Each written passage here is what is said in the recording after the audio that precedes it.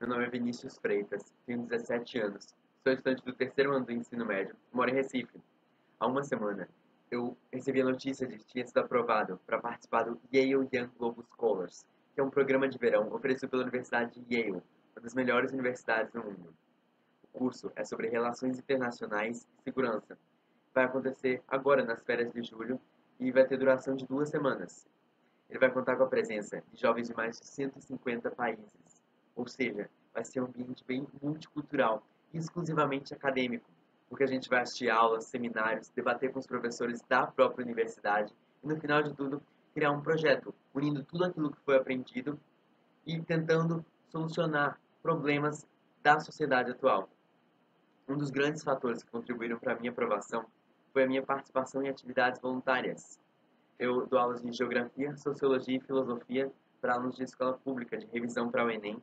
E eu também sou membro da Instituição Educacional Internacional Negócia, que busca promover o conhecimento sobre política internacional para jovens de todo o país. Após o programa, eu pretendo dar continuidade às minhas atividades, assim como ajudar outros brasileiros que queiram participar de programas como esse. Desde os meus 14 anos, meu maior sonho é estudar em uma universidade de excelência dos Estados Unidos. E esse, essa conquista foi um grande passo em direção a esse objetivo. Me motivou ainda mais a aplicar para entrar na Universidade de Yale no final do ano. Eu ganhei uma bolsa de 50% no valor total do curso, que é 5.800 dólares.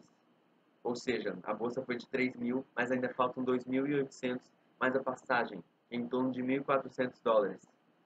Por isso, eu queria pedir a sua ajuda para tornar esse sonho realidade. O valor total do curso fica 13 mil reais, que é bem alto para os meus pais custearem.